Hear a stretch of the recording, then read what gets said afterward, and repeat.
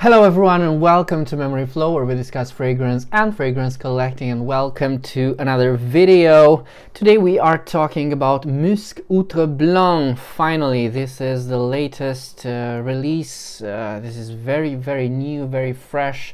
Uh, it's been released um, on the European market at least uh, on the 20th of January this year. So this has this is eight days old. Uh, this just arrived uh, to me from Place Vendôme. Uh, this is I just filmed I just uh, filmed the, the Romanian version of this video. Uh, and yeah this is this is very exciting. So we will be talking about Musc Outreblanc this is my very first bottle um, of the new L'Art et la Matière line. Uh, this is the very first time I'm holding a full size bottle. This is the 200 milliliter bottle. And uh, as you can see, the, the details, um, the crafting is, is pretty nice. I mean, the bottles feel feel as they should. They're quite uh, expensive feeling. They, they, they do have an attention to detail, uh, which I've come to be to expect from this house, from Guerlain. Um, just one minor gripe uh, that I have with the with the packaging, I guess. Uh, it's it's simpler it's just it's cardboard i mean it's it's not the same as um, it's not as interesting or as elegant as the previous uh, boxes that they had uh, for uh, the Latte Lamati. Yeah, I just I just loved those. I was a huge fan of those. Um, boxes that they use for their entire exclusive lines the one that um, you can the close the, the faux leather bottles uh, the aubergine bottles boxes sorry. Um, they were so nice. But yeah what what are you going to do? This uh, these are I guess um, easier to recycle and I guess most people throw them away either way so it shouldn't matter. But for people like me um, this uh, this stuff kind of matters especially especially when we're considering the price point for this uh, this is 425 euros uh, which is quite a lot. This is quite dear. That's this is not a cheap uh, cheap fragrance. This is uh, well Guerlain did um, increase their prices with the the revamp of their uh, exclusive line so yeah. Um, so I already know how this smells I already did this but I will do this again. Maybe not that much as as the last video um, when I went all all nuts. This is um, I, I just love this fragrance. The, the the the opening is so good. It's it's that green uh, pungent, uh, bitter citrus, um, almost violet, almost violet. Um, but what is extremely beautiful about this fragrance is the way that they use the iris but I am getting ahead of myself because um, I want to say that the reason I bought this this is this was a blind buy for me because I this, as I said it's it's just been released um, and I wouldn't have um, had any other opportunity to smell it first because uh, there is no uh, Guerlain boutique where I am and they don't um, I don't think they have the Guerlain exclusives in my country as far as I know. Um, but the reason I, I bought this um, is because there were rumors um, and it was kind of obvious that this would be um, reinterpretation of a previous, an older scent that they used to have, which was L'Heure Blanche. Uh, and this is something I did talk about. Uh, Blanche, uh, this was an exclusive that they made only a few bottles of. It has, it had a gorgeous full white bottle. Um, the name, of course, was was amazing. L'Heure Blanche, uh, the the white hour, uh, which is of course. Um, an homage to L'Heure Bleue, uh, which is another famous, that's saying something, a famous scent that they have uh, there at Guerlain. It's one of their staple scents, L'Heure, Blanc, uh, Bleue. Um, but uh, apart from that, L'Heure Blanche, uh, which I did try, I, this is all I have of L'Heure Blanche.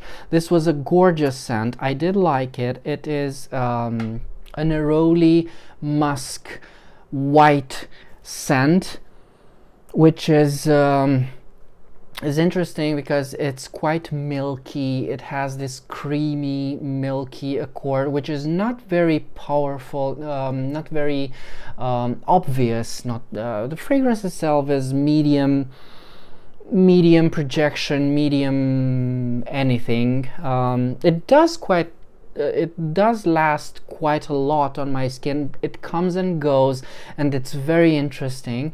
Um, so I don't know how to say this. The fragrances this this Musc Outreblanc is and isn't similar to L'Heure Blanche. And as I am spraying this as I sprayed this for uh, let me just grab my cat because he's yowling. He's yowling for attention Um, I hope you like white musks, buddy. Um, this is the third or fourth time I've uh, sprayed this today and it's very changing. It's every time I smell it um, it's changing. I, I'm still getting to know it. I still don't know it and it's very very elusive in terms of um, what it actually smells like. And this is very interesting because it is and it isn't similar to L'Heure Blanche in the way that Rose Chérie is similar and isn't with uh, French Kiss, which is, an, is another um, pair of fragrances that, uh, well, French Kiss has been um, repurposed, uh, transformed for uh, the, the L'Art et la Matière line um, into, well, sort of into uh, Chérie but I do have a video on that if you're curious. So this Musc Outreblanc, it's interesting. So the way that this musk, the way that they do this musk in here is very, very um, new to me because I was expecting that um, extremely white, extremely clean um, laundry um, laundry detergent musk um, that we're kind of used to these days um, sort of like the musks that they use in um, La Cologne du Parfumeur or um, their line of Aqua Allegoria, um, which I did talk about recently also. Um, but no, this is quite this is quite different. This is this is a little uh, this musk has a little funk it does remind me at times of uh, Noble from um, their other line, what what's it called? Um, uh, Les Absolus d'Orient. But it's not that dirty. I mean, Musc, Musc Noble is really dirty. That's a dirty musk. This is not. This is not that dirty, but it does have that bit of funk which is so good because it makes it interesting. I love this. I love it. Um, then again another thing that i love is um, the way so so yes this is an orange blossom citrusy fresh scent. Um, it's very clean it's very light it's a happy scent it's also very elegant um, it is extremely refined it's extremely refined and I, I know I say this quite a lot um, but this I mean this feels just so elegant this feels um, this feels like an exclusive this doesn't feel like so L'Heure Blanche, and I know I'm probably judging it harshly and pretty. I mean, this sample is not enough for me to get to know L'Heure Blanche. The people that that own a full bottle of L'Heure Blanche that were fortunate enough to buy it, uh, that was very expensive, by the way. That was uh, over 600 euros. Um, I'm sorry to them, but I don't know that fragrance, uh, Blanche, as well as you do. Um, but L'Heure Blanche, to my nose, was maybe a little simpler. Not to say that it wasn't gorgeous, um, but it, it was a bit simpler and it kind of had that more of an aqua allegoria vibe. Uh, when I smelled it, um, I couldn't find, I couldn't detect any of the iris at all uh, but in this one there's an iris and the iris is quite it, it's it's there. You can feel it. You can recognize it. It's it's that um, papery light woody iris it's it's the orris uh, and you can imagine um, you can imagine an iris that has been blanched um, because it's not flowery almost at all. This is not, uh, Musc Outreblanc is not a flowery scent. I was expecting, I was kind of afraid of it being too flowery. Um, that would have been interesting as well, but it is not something I wanted. I didn't want another white floral or another rose. It does have hints of rose in it and hints of a flowery smell which of course comes from um, that orange blossom which is there. But that's very very delicate. So imagine an iris that's been just blanched and all of the flowery aspects have been uh, drenched from it. Um, with the exception of that gorgeous powder um, which is so good. It's good. Yeah, it's delicious. Uh, there's ambery. Uh, it's the same amber from um, L'Heure Blanche. Uh, it's the same um, milky, um, almost there's a cookie vibe. There's a cookie vibe from uh, from L'Heure Blanche um, and and Teatzura because they are they do share this similarity of a milk tea with cookies. Yeah, so that's there. Um, it's very slightly vanillic. It's it's good. That's that's all I can say. It's something that's not new for the House of Guerlain, but it's new enough in order to um, see it as a standalone addition to at least La Matière, if not their entire portfolio.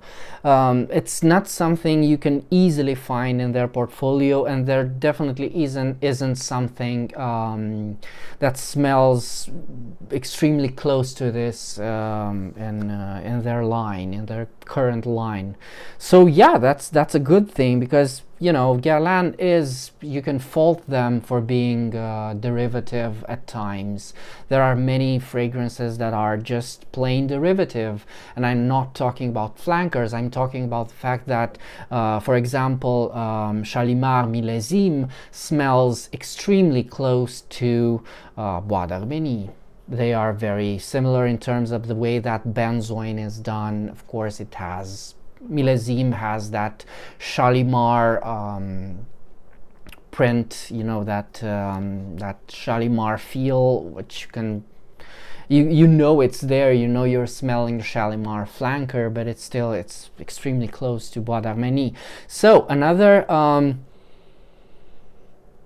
Oh God, this is so beautiful. Um, I think uh, I think I will let this settle for a bit. Uh, if necessary, I will get back to that. But another thing I wanted to talk to you about today is um, this little sample that I got here, which is Œillet. This is something I did talk about because uh, I did in the last months or so when they were starting to change uh, the, the L'Art et la Matière line I did put out a video on Lui and how Lui has become Œillet Pourpre. This is what we knew at that point uh, but at that point I hadn't smelled Œillet Pourpre because it wasn't even released. And now I did. I did and I have it here on this blotter and I also have Lui here on this blotter here. Um, and from what I because I know I just told you I filmed another video in Romanian. And they are identical. This is I, I'm I'm sure this is the the third time I'm smelling these uh, side by side. This is the third time I'm comparing them side by side and they are identical. Um, I don't know how to comment on this um, I don't know even if I need to comment on this uh, it's something that was kind of expected then again I kind of hoped because I am I am such a fan of Lui. I love this one. I have three. I have two other bottles of Lui. Um, I, I, I was kind of expecting um, a reorchestration of the scent. I, I don't want more of the same, but then again, this is not addressed to me. I already have this scent and I will not be purchasing Œillet Pourpre because I don't see the point. Then again, I have to, I just have to say this. This was a fragrance that sold for 160 euros for 50 milliliters. That was the largest uh, quantity available. And now it is being sold for 425 euros for 200 milliliters um, which I mean it's more or less the same price. I mean you could you could make the argument that it's cheaper now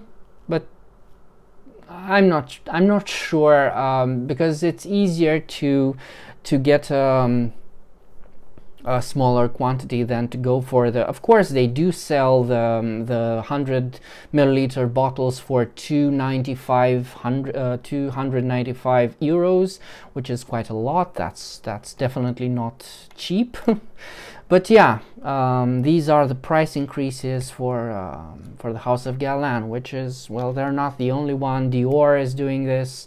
Chan uh, Chanel is doing this even some niche perfumers have started doing this. So yeah it's it's the pandemics uh, the the pandemic uh, prices are going up. Uh, they assume that because we are staying more indoors um, we are not traveling as much. We're not spending that much money on uh, on traveling, on whatever, uh, that we have more money and we should increase the prices. I don't know.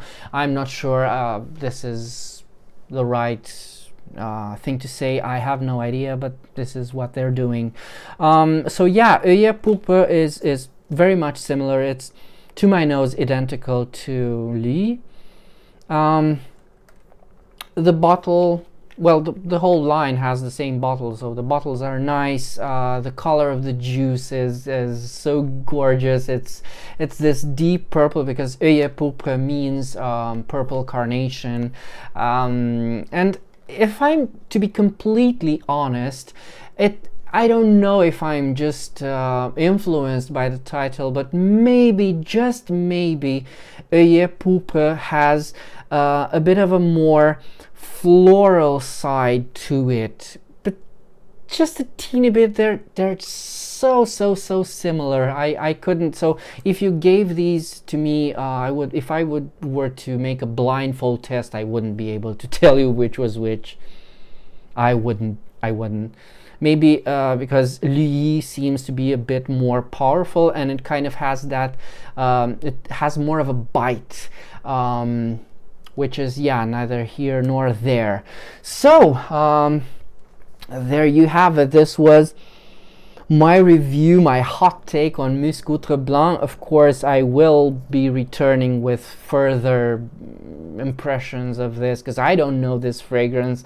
I, am just very excited to have it. It's just so I love it. I this was a blind buy. This was um, this is right up my alley. It's because of that iris. I, I love the way that they do iris in perfumery. It is quite similar and quite dissimilar to L'Heure Blanche, but then again in, in Outreblanc there are, because of that iris, there are um, much more references to uh, L'Heure uh, which is a uh, is a thing that I love. Uh, it's in keeping with the tone of the house, and all I can say is bravo, bravo, Delphine Jelk yes, this is a good fragrance that you've given us. So thank you, thank you so much.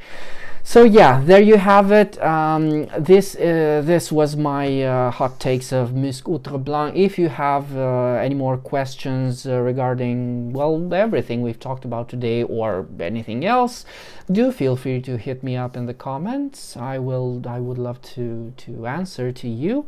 And until next time remember fragrance creates memories and may yours be happy